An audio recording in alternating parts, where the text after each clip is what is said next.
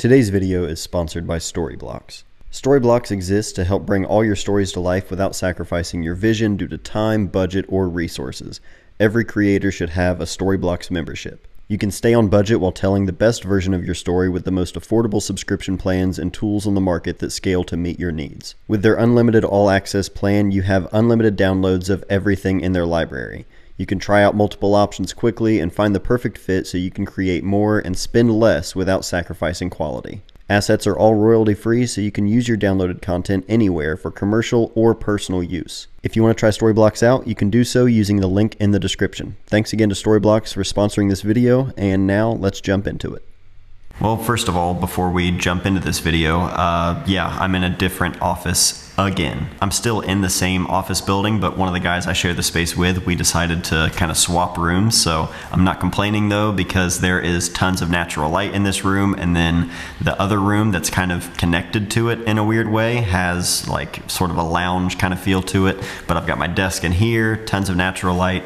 Uh, I'm really, really happy with it, but we'll talk more about that in another video. I'll do a whole office tour, uh, but today what I want to talk about is sort of my desert island kit. This is my gear that I would bring with me anywhere I go. It's the gear I, I, do bring with me everywhere I go so that no matter what I come across, I have what I need to make photos that I want. It's just for personal work. This isn't the same kit that I would bring to a commercial job or to a wedding or anything like that. But if I'm going for a drive, if I'm running errands, if I'm going to spend time with friends, I just throw this Pelican case in the truck with me so no matter what I run into, I have everything I could possibly need. It's really more than I need, but it all fits in a pretty small Pelican case, so it's just my go everywhere kit. So this is what's in my bag for 2021 or what's in my case for 2021.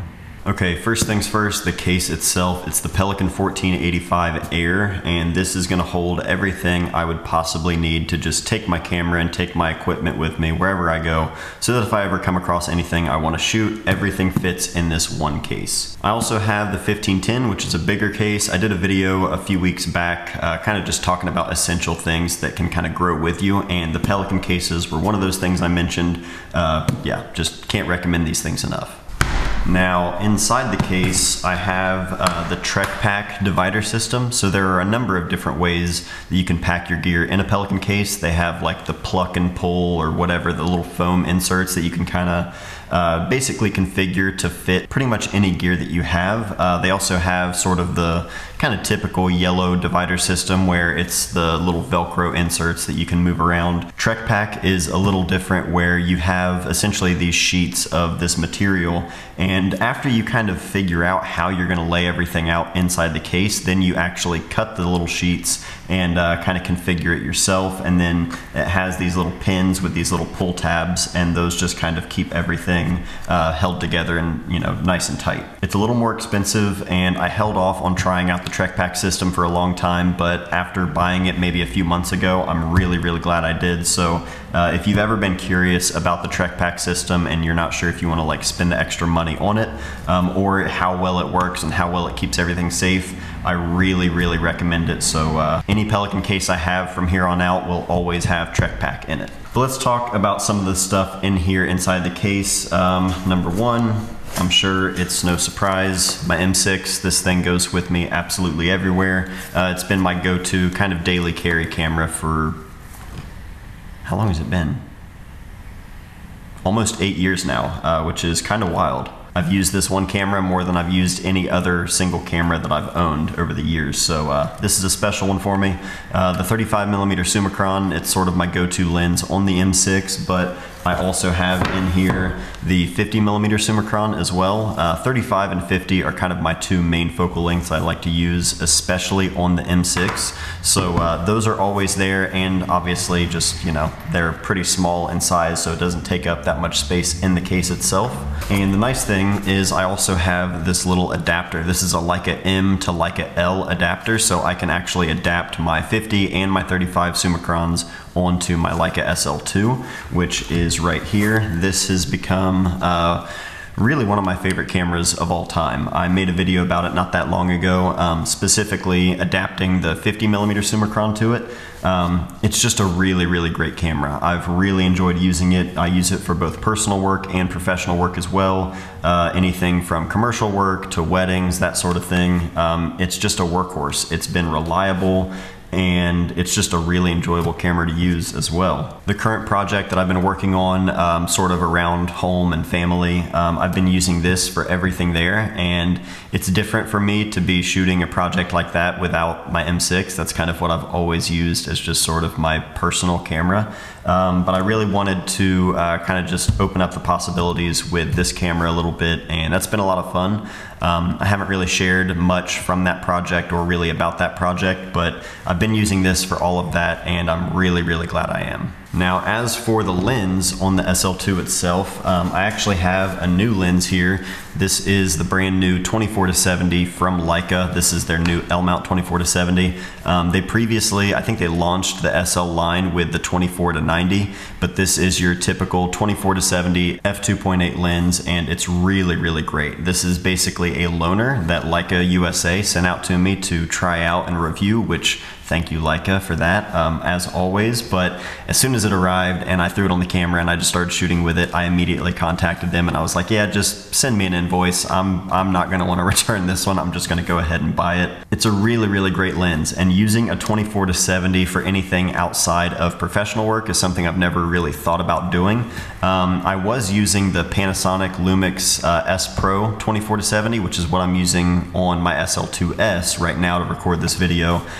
Um, I would occasionally shoot some photos with that, you know, personal work, and using a 24 to 70 for me has been odd because I've always been a prime lens shooter. The benefit of the faster aperture if I'm shooting inside, and also just sort of that discipline of sticking to one focal length and really learning it, that's something I've really been a fan of for as long as I can remember. But I feel like a lot of times with prime lenses with that faster aperture, I would find myself just shooting wide open more than I would actually need to, um, kind of using it as a crutch to just blur things out in the background.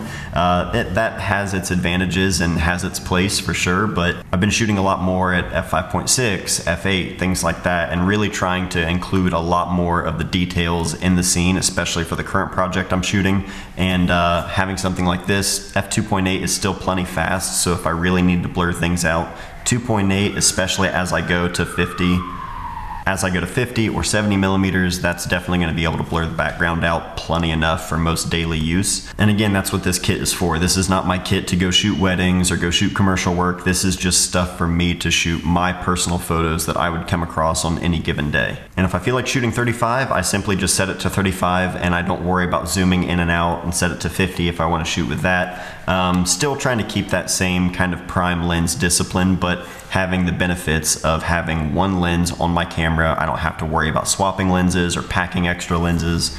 Uh, yeah, very, very versatile. I think I'm gonna make a video kind of uh, about shooting with a zoom lens for, you know, an extended period of time after only using prime lenses for so long. So if you want to see a video like that, let me know. Now, in case I come across any situations where I want to control the light a little bit more, I've got my Westcott FJ80. This is a speed light, and I also have this FJ X2M uh, from Westcott, their little trigger. I've been using this on the FJ400, which is a full-size strobe that I've really, really been enjoying over the last at least year now. Um, but the FJ80, I recently got this from Westcott, and I've been using this a lot in different situations, whether it's throwing the flash on top of the camera directly at my subject. If I want to bounce it or anything, it obviously rotates and spins around. Um, there's also some like little attachments here. It uses this little magnet system, so I've got, uh, you know, a grid, I've got little gels, stuff like this that I can just throw onto the front of the speed light itself, which gives me just a little bit more control. And again, having something small and compact, it's not gonna be the main light to use for any given situation, but for most things, I should be able to get by with just this one speed light if I need to control the light at all. Speaking of controlling the light, the Leica SF20, this is a flash I use on my M6. Um, it communicates with the M6 in TTL mode, so I can basically just throw this on the M6, set it to TTL, and then just essentially point and shoot from there. Um, really, really simple. I don't use it for a lot of things, but when I want to have just a little bit of flash to either fill in the shadows or if I want that direct flash look, this has always worked great for me. I've owned a couple over the years, but yeah, if you have an M6 TTL, an SF20 is a nice thing to have just in the odd chances that you do need to use a flash. And of course, battery and charger for the SL2. So I've got two batteries at all times, even though these batteries are pretty beefy and they last a pretty long time. Um, I've always got a spare with the charger itself. Um, I've, get, I've gotten a lot of questions about this little thing right here. Uh, normally these chargers come with a long cable, but it uses just that typical little figure eight kind of connector. And I just bought this little right angle adapter. So that way I don't have to worry about a long cable. When I need to charge this, I can just leave this on there and plug it in and it will just, you know, sit right there on the wall. A lot more compact, a lot less messy. So uh, yeah, if you wanna know about these, because I've had people ask where I got it and if it came with my SL2 and stuff like that, it's like a cheap little adapter that I got off of Amazon. I'll put a link down below. And then of course, uh, you know, just the other regular stuff. I've got this little foot right here with a cold shoe on it. So that way, if I wanted to set my speed light up on the table or set it up somewhere or use the quarter 20 mount on the bottom of it, if I wanted to throw it on a light stand, um, I can do that.